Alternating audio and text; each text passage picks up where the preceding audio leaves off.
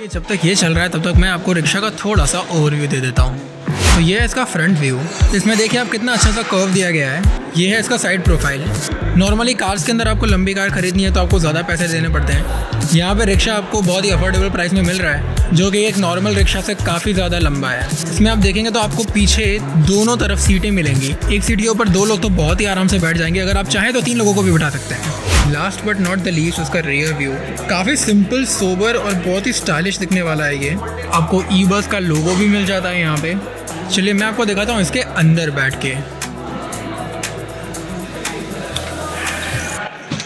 तो आप देख सकते हैं, बैठने के बाद भी आपकी दोनों के दोनों तरफ़ बहुत सारी जगह बचती है।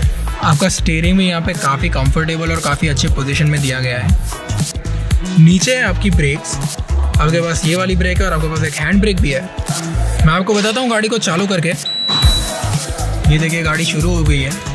आपको ऐसी स्क्रीन मिलेगी इसके अंदर, यहाँ पे आपको पता चलेगा कि आपकी बैटरी लेवल कितना है, यहाँ पे आपको पता चल जाएगा आपका स्पीड कितना है। यहाँ पर आपको वाइपर स्विच मिल जाता है हैजर्ड लाइट मिल जाता है, आपको यहाँ पे आपका हेडलाइट मिल जाता है। और एक और चीज़ आपको यहाँ पे जो मिल जाती है, वो है फॉरवर्ड और रिवर्स स्विच क्योंकि इसके अंदर मोटर है, आप दोनों तरफ़ जा सकते हैं। ये बटन दबाया, आप जाएँगे आगे, ये बटन दबाया, आप जाएँगे पीछे। मैंने यहाँ पे आपको गाड़ी का ओवरव्यू तो ज़रूर दे दिया।